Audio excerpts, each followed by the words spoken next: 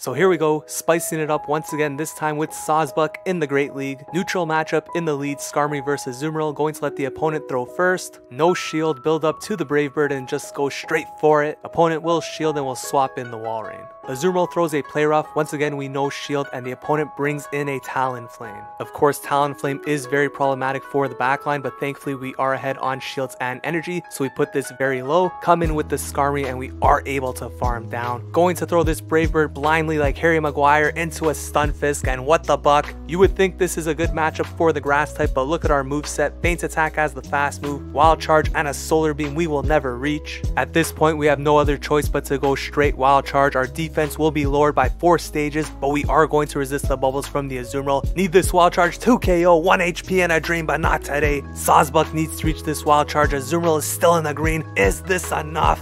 Bang, there it is. Sawsbuck eats tonight.